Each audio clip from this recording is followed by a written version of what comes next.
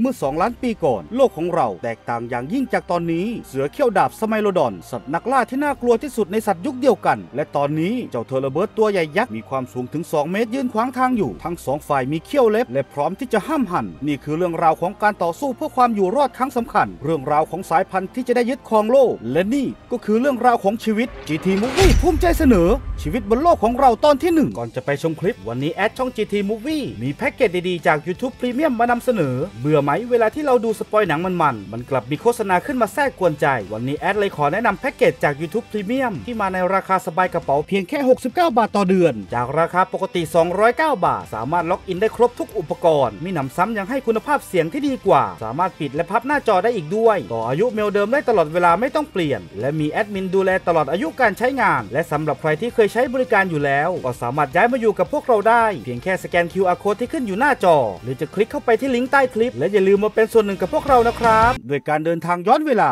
เราจะได้พบกับ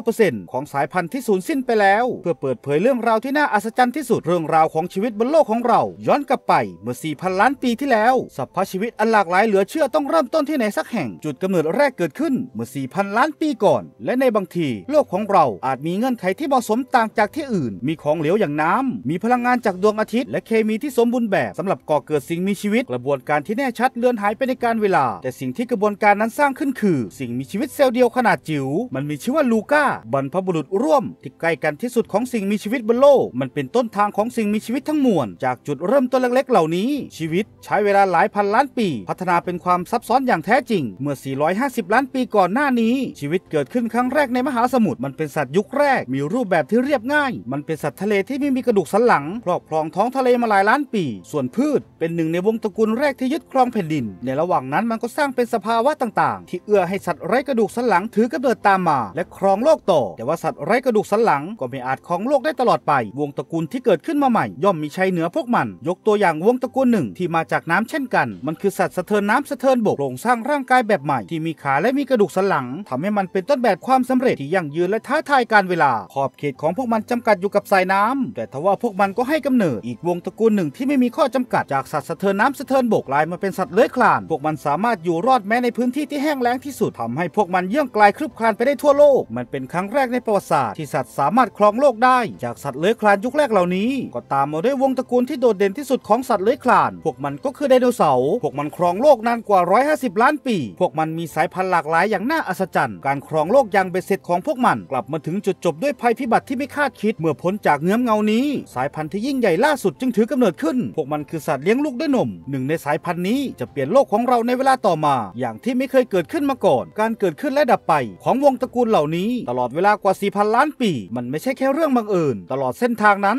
จากจุดกำเนิดของชีวิตกฎข้อแรกก็คือ ผู้ที่ปรับตัวเก่งที่สุดจะชนะเสมอกฎข้อต่อมาของชีวิตก็คือ การแข่งขันทำให้เกิดการปรับตัวเมื่อ 2 ล้านปีที่แล้ว การแข่งขันที่รุนแรงที่สุดเกิดขึ้นในพวกเดียวกัน นี่คือโทรบอสตัวผู้อาณาเขตของมันคือริมฝั่งทะเลสาบแต่มันไม่ได้มีแค่ตัวเดียว ตัวที่หนุ่มกว่าต้องการทำเลทองแห่งนี้ทำให้ตัวที่แก่กว่าไม่อาจมองข้ามภัยคุกคาม ส่วนตัวหนุ่มก็ไม่ยอมถอย มันต้องการอาณาเขตของตัวเอง ทั้งสองเริ่มเคลื่อนไหวแสดงท่าที มันสายหน้าไปมา เพื่อประเมินความแข็งแกร่งของอีกฝ่าย พร้อมกับอวดความแข็งแกร่งของตนเอง เพื่อทำการข่มขวัญศัตรู การเคลื่อนไหวที่สอดประสาน ราวกับว่าพวกมันกำลังเต้นรำกันอยู่ ใครจะเป็นฝ่ายล่าถอยก่อน หรือใครจะเป็นฝ่ายที่โจมตีก่อน เมื่อไม่มีมือที่ 3 การต่อสู้ย่อมไม่อาจเลี่ยงได้ แต่ทว่ามันก็มีแขกมาเยือน ความฉลาดหลักแหลมแบบสัตว์เลี้ยงลูกด้วยนมของสมัยโลดอน มันเป็นสาเหตุหนึ่งที่ทำให้เทเลเบิร์ตสูญพันธุ์มันคือการแข่งขันทั้งภายในและระหว่างสายพันธุ์เป็นตัวขับเคลื่อนวิวัฒนาการเสมอมา แต่ไม่ใช่เฉพาะผู้ต่อสู้ที่จะเปลี่ยนแปลงตลอดเวลา สนามรบก็เปลี่ยนแปลงเช่นกัน ซึ่งนำไปสู่กฎเกณฑ์ของชีวิตข้อที่ 3 นั่นก็คือโลกไม่เคยอยู่นิ่งได้นาน บางครั้งมันก็เอื้อต่อชีวิต แต่ว่าบางครั้งมันก็เป็นอุปสรรคตลอดประวัติศาสตร์ที่ผ่านมาภูเขาไฟคือหนึ่งในผู้สร้างการเปลี่ยนแปลงที่ยิ่งใหญ่ที่สุดการปะทุที่ยาวนานหลายพันปีกลืนกินพื้นที่กว้างใหญ่ของโลกเราซ้ำแล้วซ้ำเล่า มันสูบแก๊สขึ้นสู่ชั้นบรรยากาศทำให้สภาพของอากาศมีการเปลี่ยนแปลง ถึงขั้นเลวร้ายที่สุดทำให้เกิดการสูญพันธุ์ไปทั่วโลก โลกของเราแทบไม่เคยหยุดนิ่ง บางครั้งโลกของเราก็คือดินแดนแห่งไฟ แต่ว่าบางครั้งโลกคือดินแดนแห่งน้ำแข็ง โลกที่เปลี่ยนแปลงอยู่ตลอดเวลา สร้างความท้าทายมากมายให้กับชีวิต ตั้งแต่ทะเลที่เป็นพิษไปจนถึงดินแดนรกร้างทั่วโลก และหน้าฝนที่แทบไม่จบไม่สิ้น นับได้ 4 ครั้ง ที่โลกตกอยู่ในสภาพทำให้ชีวิตมินเมต่อการสูญพันธุ์ในแต่ละครั้งกว่า 3 ใน 4 ของสายพันธุ์ทั้งหมด ล้มตายไปในการสูญพันธุ์ครั้งใหญ่ โลกของเราอาจเป็นดาวเคราะห์ที่ทรหดแห่งหนึ่งเมื่อ 76 ล้านปีที่แล้ว มีอยู่ช่วงเวลาหนึ่งที่โลกนั้นอยู่ในภาวะสงบนิ่งถึงร้อยล้านปี ช่วงเวลาที่ทำให้ชีวิตกลุ่มหนึ่ง กลายเป็นวงตระกูลที่ทรงอำนาจที่สุดนี่คือยุคของไดโนเสาร์ความสงบที่ยาวนานนี้ช่วยให้ไดโนเสาร์ขยายพันธุ์จำนวนมหาศาลไดโนเสาร์พวกนี้คือไมอาซอรา สัตว์กินพืชที่มีนิสัยอ่อนโยน และแข็งแกร่งเพราะอยู่รวมฝูงหลายพันตัว พวกมันรวมฝูงขนาดใหญ่เพื่อความปลอดภัย ตัวเมียที่ค่อนข้างระแวดระวังตัวนี้ มันกำลังกลับไปที่รังของมันไมอาซอราแปลว่าแม่ที่ดี เช่นเดียวกับตัวเมียตัวอื่น มันสร้างรังของตัวเองไว้กลางนิคมขนาดใหญ่เพื่อที่จะเข้าไปที่รังของมัน มันต้องเดินฝ่าแม่แม่ที่ขี้หวง ที่พร้อมปกป้องลูกของตน และในที่สุดมันก็มาถึงรังของตัวเอง มันป้อนอาหารให้ลูกๆ แบบแม่นกไม่มีผิด มันจะปกป้องลูกๆ ในรังไปอีกหลายเดือน จนกว่าพวกมันจะโตพอเข้ารวมฝูง แต่ทว่าโลกนี้ไม่ได้รองรับแค่ไดโนเสาร์จำนวนมหาศาล โลกที่สงบนิ่งในช่วงนั้น ยังรองรับไดโนเสาร์ทุกรูปร่างและขนาดด้วย และนี่คือไทเซราทอปพวกมันแตกต่างอย่างยิ่งจากไมอาซอราที่อ่อนโยน มันมีน้ำหนักตัว 5 ตัน และเขาสามเขาที่อหังการ ราวกับว่ามันหุ้มเกราะหนาอยู่ และเพื่อปรับตัวเข้ากับโลกที่การป้องกันตัวดีที่สุดคือการจู่โจม เมื่อถึงฤดูผสมพันธุ์มันจะต้องอยู่ในสภาพที่สมบูรณ์ มันหมายถึงการหาอาหารที่ดีที่สุดในทุกที่ที่ทำได้ แต่ว่าการค้นหาทำให้มันอยู่ห่างจากฝูง มันเดินเข้าใกล้ชายป่าขึ้นทุกที และไม่แปลกใจเลยที่มันจะกระวนกระวาย เพราะว่าไทเซราทอปไม่ใช่สัตว์ใหญ่กลุ่มเดียวในป่าแถบนี้ แต่ว่ามันยังคงกินอาหารต่อ และนี่ก็คือไทเรโนซอรัสเร็ก มันคือสุดยอดนักล่า ที่มาพร้อมกับลูกน้อย 2 ตัว มันพุ่งออกมาจากชายป่า เพื่อเข้าโจมตีเหยื่อ แต่ดูเหมือนว่าลูกเร็วกว่าพ่อของพวกมัน พวกมันทำงานกันเป็นทีมเจ้าไซทอราทอปอาจต้านเด็กๆได้ แต่ไม่ใช่กับตัวโตเต็มวัย มันพยายามวิ่งหนีเพื่อเข้าไปหาฝูง โดยมีพวกทีเร็กวิ่งตามไม่หยุดมีแต่การอยู่รวมฝูงเท่านั้น ที่จะคุ้มครองมันได้ และทันทีที่มาถึง พวกมันก็ตั้งกำแพงป้องกัน แม้แต่นักล่าที่เก่งที่สุดในโลกก็รู้ว่าตัวเองสู้ไม่ไหว ยกเว้นตัวผู้ที่ยังเล็กที่มันยังคงเสียดายอาหารของมันอยู่เมื่อ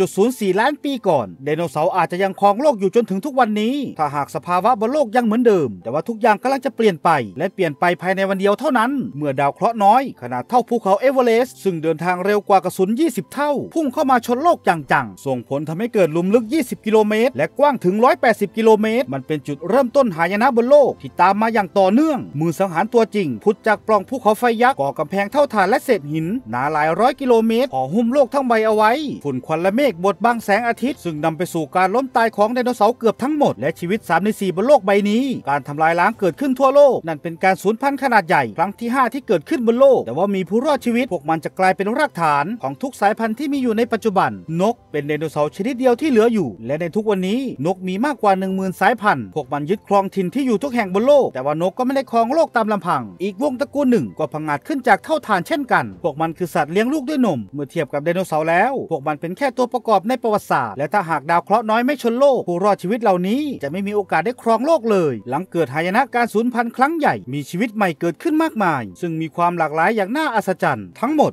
ล้วนปรับตัวเข้ากับความท้าทายของชีวิตได้อย่างยอดเยี่ยม นั่นคือการต่อสู้เพื่อปกป้องและเลี้ยงดูลูกๆ เพื่ออาหารเพื่อสืบพันธุ์ในแต่ละยุคสมัย เผ่าพันธุ์อาจจะเปลี่ยนไป แต่ว่าสิ่งสำคัญยังคงเหมือนเดิม น้ำและพลังงานจากดวงอาทิตย์ยังคงหล่อเลี้ยงชีวิต เช่นเดียวกับที่เป็นมาหลายพันล้านปี กระทั่งทุกวันนี้กฎเกณฑ์ของชีวิตก็ยังเป็นจริง ผู้ที่ปรับตัวได้เก่งที่สุดเท่านั้นจึงจะชนะการแข่งขันขับเคลื่อนวิวัฒนาการ และโลกที่เปลี่ยนแปลงรวดเร็วนำมาซึ่งความโกลาหลทุกสิ่งที่มีชีวิตอยู่ในปัจจุบันสามารถสืบย้อนกลับไปได้ถึง 4,000 ล้านปี ในสภาพแวดล้อมที่ทารุณเป็นพิเศษ 99%ของทุกสายพันธุ์ที่เคยมีอยู่ ตอนนี้สูญพันธุ์ไปแล้ว ชีวิตที่เห็นในทุกวันนี้ก็คือ 1%ที่รอดมาได้ ตอนที่สัตว์เลี้ยงลูกด้วยนม ตั้งตัวเป็นมหาอำนาจของโลก เมื่อบรรพบุรุษของนกเริ่มยึดครองน่านฟ้า และวิวัฒนาการของไข่ที่มีเปลือกแข็ง ซึ่งนำไปสู่ยุครุ่งเรืองของไดโนเสาร์ผู้ยิ่งใหญ่ และแม้แต่ช่วงเวลาที่สัตว์ขึ้นมาจากน้ำเป็นครั้งแรก เรื่องราวสารคดีชีวิตบนโลกของเรายังไม่จบ โปรดติดตามในอีพีต่อไปหากคลิปนี้ผิดพลาดประการใดก็ขออภัยด้วยนะครับสำหรับคลิปนี้ลาไปก่อน เจอกันคลิปหน้า สวัสดีครับ และสุดท้ายนี้อย่าลืมมาเป็นส่วนหนึ่งกับพวกเรา Netflix Theater และอย่าลืมบอกว่ามาจากช่อง GT Movie ด้วยนะครับ